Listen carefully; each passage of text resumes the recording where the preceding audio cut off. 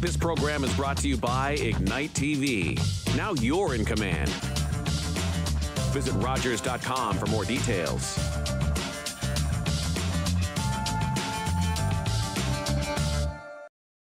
The opinions expressed in the following programs are those of the participants and do not necessarily reflect those of Rogers Cable or Rogers TV.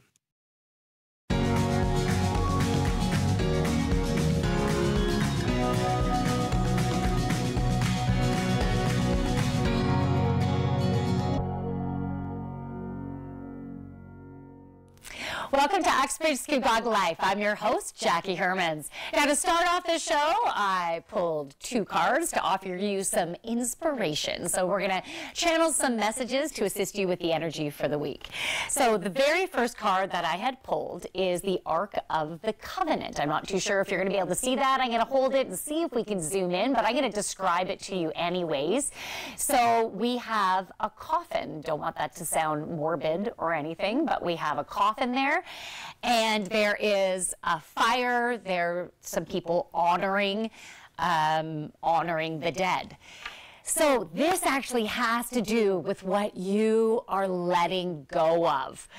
You know, since you were in utero, in your biological mother's belly, you have been programmed, programmed with patterns and these patterns of perception, these patterns of reactions, emotional reactions, thoughts that will ignite when you experience certain things have really shaped your reality. In some cases, you have taken on things through your DNA. You have possibly, depending on your belief systems, taken on things from your past lifetimes.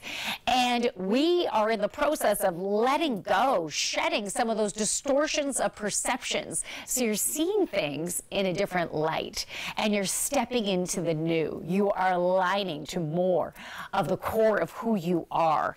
The other card, it really relates exactly to this, and it's the lookout card. So we're going to try to zoom into that. And basically, there's a tall ship that is on fire, and there, there's someone high up in the lookout looking towards where they're going. So, as this old is burning away, we don't want to focus on those, uh, on the fear, on the anxiousness, the anxiety that could potentially be coming up for you in any given moment. Because when we focus on being afraid of making decisions, not knowing where we're going, is this going to work out? Am I okay? Am I safe? That's what you perpetuate is that type of energy. You keep drawing that into you.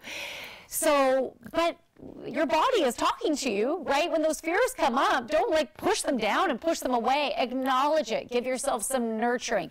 Take a moment to have some deep breaths. And if you know where that energy is residing in your body, then breathe into, let's say, your belly or breathe into your shoulders and let that go. And then zone in on you being a creator. Trust that you can create that.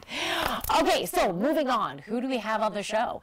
So we have uh, Cannington Haunted Attraction. We're talking about that. Michelle Herbert's going to be on the show. We also have Catherine Bird on the show, who is with me right here, right now. And she's going to be talking about Northern Roots Wellness. So stay tuned for that. And I'm also going to be doing my own segment on the show talking about how comedy and comedy, laughter, and play can be so incredibly healing. And I'll give you a little bit about my story and how it has helped to heal me. So we're going to have a fabulous show. Make sure you keep on watching. We'll be back with more on Uxbridge Scugog Life.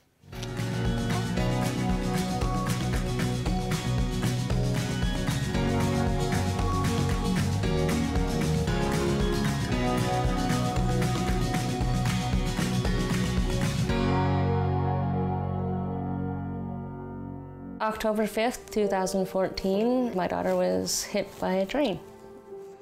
She was walking along the sides of the tracks, and it shattered her world.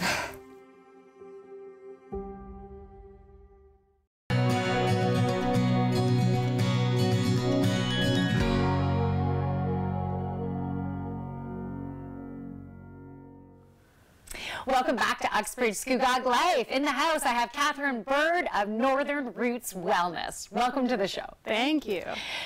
So I have had the pleasure to get to know Catherine through my working at the Whitby Farmers Market and the Uxbridge Farmers Market. So you have some beautiful holistic products, not only for dogs but for their humans, mm-hmm.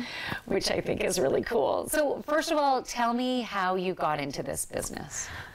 Uh, well, it started with my dogs. Um, our first guy, Murphy, has he had allergies to chicken, and I couldn't find treats that had didn't have chicken or chicken byproduct in them. So I instantly thought, you know what, I'm just gonna make them. I'm gonna make my own, and I'm gonna see where it goes. And it kind of just took off from there. Okay, so then you started. Okay, so you started making these treats, Yeah. and then I understand you also carry these food uh, Meal toppers. Meal toppers. Like, Yeah. What What is that? So they all started out as treats. Um, Murphy specifically has a lot of gut issues, and so I wanted to make a treat that was geared towards gut issues. And so I made a treat with that, and then I realized it's so much easier to sprinkle a topper on their food and not have to worry about it for the rest of the day. So I started creating a line of meal toppers. So we have a gut and urinary, we have a calm for anxiety and reactivity, we have a strength for muscle and joint support, and a few others. So, what type of products are you putting in there? So, with the gut, are you putting probiotics? Yes. Yeah. Tons of probiotics. Okay. Okay. Great. And then, what other type, like to be able to help with anxiety? Let's say, Mm-hmm. what type of it, is it a whole homeopathic you're putting in? What are you putting in? Yeah, so I focus Yeah. a lot on herbs. Okay. Um, I'm big on plant medicine and utilizing what we have in nature. So for like the calm per se, I use um, chamomile, lemon balm, ashwagandha, hemp hearts, all these different herbs and Nice. ingredients that are known to help calm the nervous system, as well as pumpkin and rice to help calm the nervous stomach that tends to go with a nervous mind. Oh, beautiful. Um, yeah, so all the ingredients kind of work together um, to create a good balance for them. Okay, that, that's amazing. Okay, so this has been a pretty cool journey. Yeah. So now you are this entrepreneur and you have this hugely creative mind. And I've had some great conversations with you. And you're like, okay, I want to do more products for for people as well. You, you right? Yeah. So how has um, this entrepreneurship, I guess, how has it changed your life? How has it impacted you? How like Huge. What shifts have happened? Honestly, so many. Like, just, I just feel so confident in where I am and who I am as a person now, and everything just feels so aligned. And it's like, this is where I'm supposed to be. This is how I'm. I've always known I needed to help people. That was always my goal, was mm. to help in some sort of way. And I think through my education I was I was in the wrong helping profession where now I'm like I'm able to help pets which helps their humans because they are feeling better and there's a whole wellness around it. And now I'm just like how can I help people too? Like mm-hmm. all of these ingredients are all human grade. Everything is natural. Everything is what we put into our own body. And I'm like this is good for everyone. So it's Yeah. just yeah it's just an overall wellness that I've just it just keeps pouring out of me well, I love that because okay, there's two, a couple of things I wanted to mention. The first one is like as a pet owner myself, I can have stress and guilt and anxiousness when I don't know what I can do for my dog. Yeah. So, well, I have two dogs, but even one of them, she licks incessantly. Mm-hmm. And so, and I think that some of it is stemming from some anxiousness. And then the the other thing is like she itches this time of year. She itches, itches, itches. So I've been trying probiotics. I've been trying even, um, uh, you know, like whether you use Benadryl or Aerius. Yeah, I'm giving yeah. like a little bit, and I haven't quite found the right type of remedy for her. Yeah.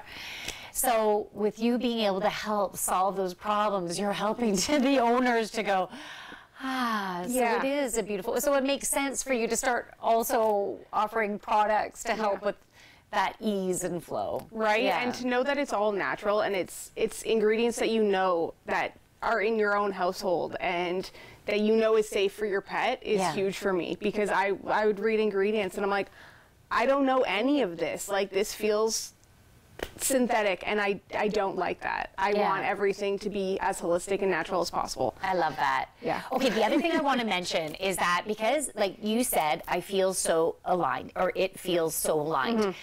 So you followed your inspiration, Mm-hmm. right? And I feel like, like the universe will throw us different situations. So you had Murphy that Yep. Mm-hmm. you needed to solve this problem, and then you had this inspiration to create this, and it just led you to the next thing, and then led you to the next thing, and then Yep. it led you to the next thing.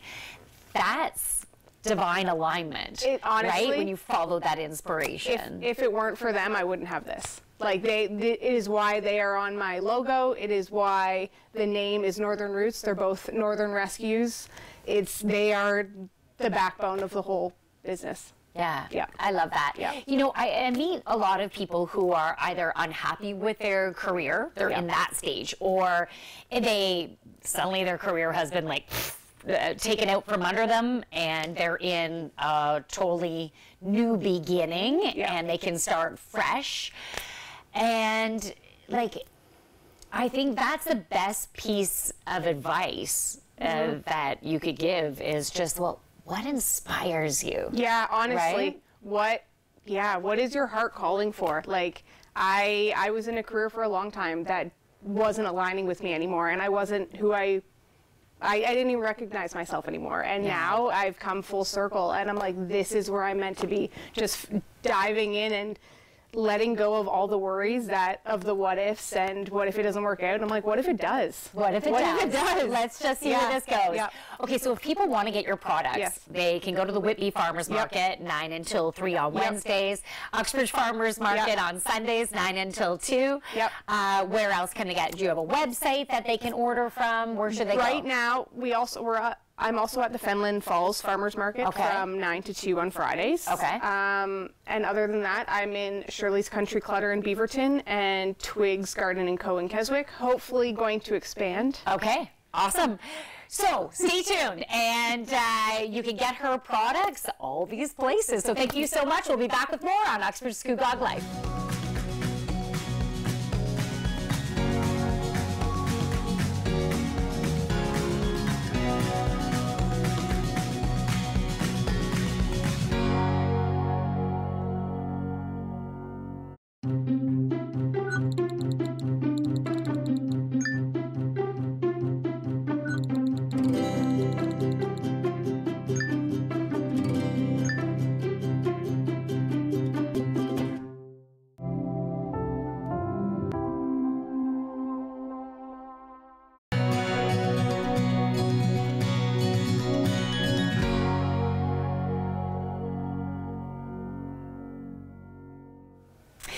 Welcome back to Uxbridge Scugog Live. So I have Michelle Hurlbutt, who is the Hollow Queen of the Canning- Cannington Haunted Attraction.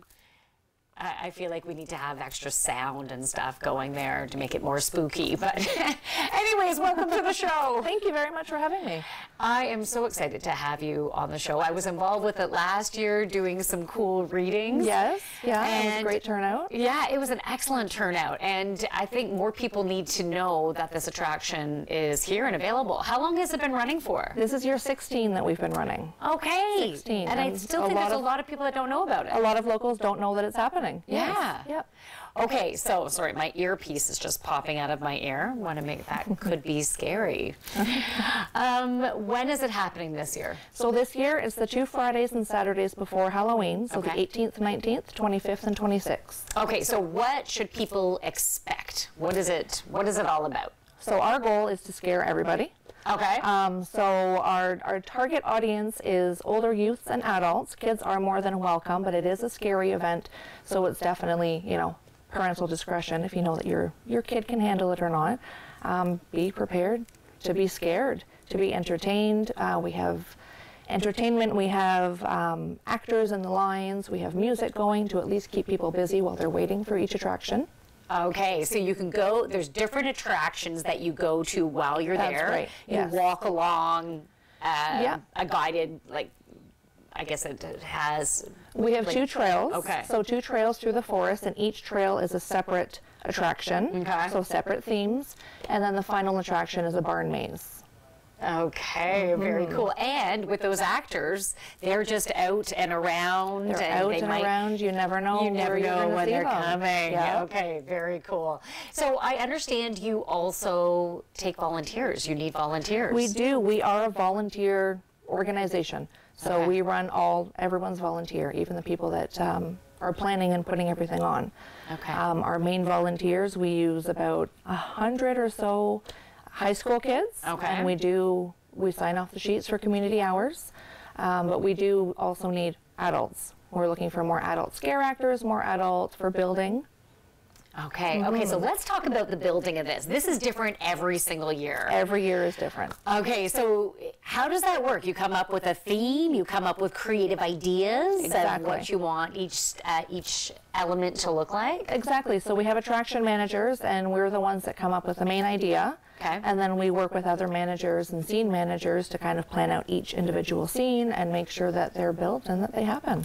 Okay, just so we we still keep this year's a bit of a surprise. Can you give us an example of maybe last year what one of those elements, one of those scenes would have looked like? So last year the barn was amazing. It was a butcher. It was a butcher scene. Um, the whole barn. So each room in the barn, as you're going through the maze, it was a different scene to do with the butcher shop, and it was basically a butcher shop of horrors. Oh, love that. Mm-hmm. Okay, so uh, what other type? So, in regards to volunteers, we're going to go back to that. So, you could use volunteers for building of it. You could use Yeah. volunteers to help as people come to the gate. That's right. Yeah, Uh, we have a few there, yeah. but we mainly need scare actors. Okay. So we get the kids from the high schools coming out, and it's a great time. It's a great way to earn your volunteer hours. You need Okay. 40 to graduate. Okay. Um, and we are happy to help with that. Okay, I love that. What is your favorite thing about being involved with this event? I love Halloween. Um, I'm born on Halloween, so it's kind of You a thing in our house, our household. Yeah. That's amazing. I love, honestly, the nights of just being in the distance and hearing the screams. I love entertaining. I love that everyone is scared and having a great time. Okay, this is Mm-hmm. very cool. And this is it is very interesting. Are, would you like to talk about the type of employment that what your career is as well, or do you want to keep that out of it? Sure, no, that's fine. Because it's a very interesting alignment. It is, yes. I'm a- Okay. I'm a funeral director by trade. Okay, Yes. so you are around, um, uh, you are around death in a different way, and you're there uh, from a place of compassion. Yet this, I feel like this is a beautiful, almost like a release for you, It definitely is. right? Adding Yes. that entertainment, that Yeah. that fun into the evolution of life. Exactly. So this is Yeah. my fun time away from work. Work is very rewarding, very stressful, Mm-hmm. and um, when I'm away from it at the haunt, it's just, it's my outlet. It's my release, my creativity. Like I, I get to pour everything into it. I love that, and I Hmm. love how it's your birthday is Halloween too. It just Yeah, seems so it's kind of in my DNA, I guess. Yeah, uh, yeah, it, Yeah. it really seems that way. Yeah. Okay, that's amazing. So, um, what is something that you're in particular excitement about for this one? Can you give us any tidbits without ruining any So I can give a little bit. We do have Okay. the themes on our website now, Okay. so you can go on and you can see what each attraction is. Okay. Gives a little bit, but doesn't give everything away. Okay. Um, this year, I'm my I'm most excited about my opening scene. Oh, I'll leave it at that. So anyone Okay. that has been to the haunt before may remember Jeepers Creepers bus. okay. We're kind of We're playing we're kind with of that. playing with that again. Okay, that sounds good. Different theme, but similar similar entrance. Okay. Starting with a bang. Okay. Now I understand tickets can get sold out. Tickets are So- sold out almost every night. Okay. So we recommend getting them online and getting them in advance. Okay, eh, can they get tickets right now? Right now, they're already selling. Okay, so where do they go to get those tickets? CanningtonHaunt.com. Okay. You just click on the ticket tab, and it takes you right, right to Eventbrite. Okay, okay, beautiful. Um, now, the gates open at what time? Gates open at six, Okay. six six thirty. Okay. Um, but we wait until dusk before before we start letting people into the actual attractions. Okay, and last year, are you going to have vendors again this yes, year? Yes, we do have the haunted market again this year. Okay. Um, if you follow our Facebook page and Instagram, Facebook we're more active, but Instagram as well, we are doing spotlights on every vendor so you know who's there, who's available, and what forms of payment they take. Okay, so do you recommend, so they're not in a big lineup, come early, you get in, and then you can go to the vendors? You can go to the vendors, you can get some um, some chili, hot dogs. Okay, so there's even food. You can have your dinner food, before you start. Exactly. Okay. Yep. Okay, that's amazing. So once again, those dates are October 17th, sorry, 16th, 18th, 19th, 25th, and 26th. okay, October 18th, 19th, 25th, 26th. Fridays and Saturdays, the two weekends before Halloween. Beautiful. Yes. Thank you so much for coming on the show. Great, thank you for having me. We'll be back with more on Uxbridge Scugog Live. Stick around.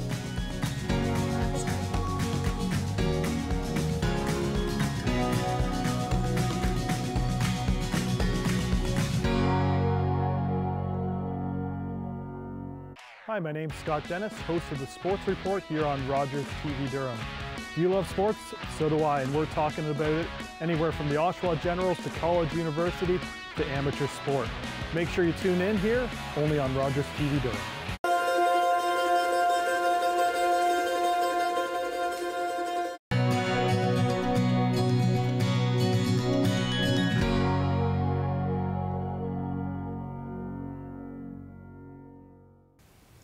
Welcome back to Uxbridge Scugog Life. So for this last segment, it uh, I decided to call it from um, comedy to confidence.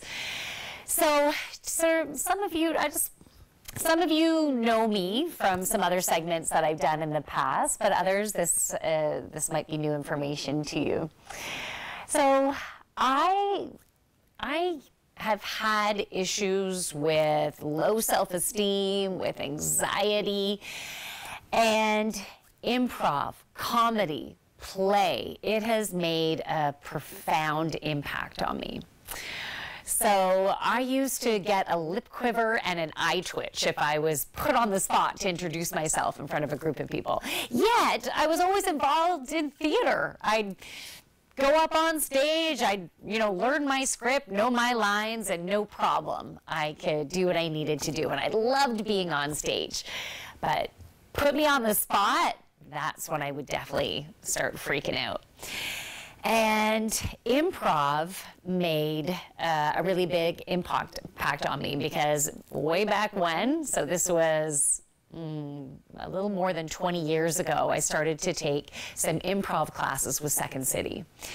And I was consciously wanting to get over myself. And so I would walk through my fears every time we did a different improv activity because you had to trust that whatever came out of your mouth, you could deal with it. Whatever came out of someone else's mouth, you could deal with that. And so I would give myself uh, these strategies to be able to shift my thoughts, notice my thoughts, shift them. Now, during COVID, I went through another layer of healing, another layer of getting over myself, another layer of releasing old patterns of thoughts that was stressing me out. Uh, so something else about myself, uh, you know, I, I do cards at the beginning of, uh, of the uh, shows. So I'm a psychic medium, and I started to notice that I had this gift when I was nine years old. Um, I started to notice some other elements in my 20s, and then in my early 30s is when I started to really develop it despite me knowing this about myself, I had a lot of fears of judgment. You know, fears of people thinking I was a wackadoodle. Even um, I, I, used to be married, and even my ex uh, wasn't in a place to fully embrace me. We all have different belief systems, right? So I kept a lot of it under wraps. But during COVID, it gave me an opportunity to open up, to come out of the closet spirituality wise. So during COVID, I created a character uh, named Madame Euphrosyne, Goddess of Joy. So she was inspired during COVID. And I have a, a European, Eastern European heritage. So that's where the accent comes, is from that. I have a Polish background. And even though my accent might sound a little more Russian, but I did get confirmation from someone who's Polish that it actually does sound Polish. It depends on where you're from in Poland. And so I used this character to start live streaming readings. And I, I started doing this on Reddit. And so I would come in character. I actually started doing this character with a wig, and I'd wear a different type of glasses. And in this fun character, I would do readings. It was live, so I would have people commentating. And I felt it was a safe space because I felt like, well, I'm in character. It's not, if I get some people saying some nasty things, I can, my character can handle it instead of Jackie being wounded. And so I was doing this and it felt comfortable and it felt more comfortable and more comfortable. And then one day I wanted to be myself. So during one of the live streams, I took off my wig. That's when I was coming out of the closet, I guess, and I was myself. And I, I started to feel safer at being all that I was spirituality wise. And then this character, as time has gone on, this character has helped me to heal on various levels. I had a sexual trauma when I was 14 years old. And through doing this live streaming and the different interactions that I had, my character helped me to heal from my sexual trauma my character has helped me to embrace me on so many different levels. You know, we are all so unique and we can, we have our quirks. Um, we have our unique sense of humor and my character has helped me to be able to embrace all of that. And, you know, I'm also um, have been involved with Durham Pride. We have Durham Pride on the show um, every so often. And for me, pride, it's not just about embracing one's unique, let's say, sexuality or identification. It, to me, it's really about embracing all of who we are uh, every aspect of our uniqueness. And I think it's really important for us to do that. So find the outlets that you can embrace all of who you are, because who you are is so unique and so incredibly brilliant. And I feel like even in the workplace, we need to do this more.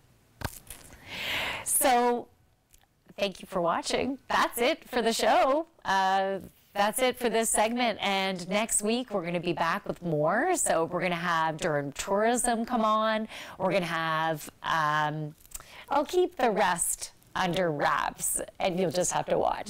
so we'll see you next week with more on Uxbridge Scugog Life. Bye.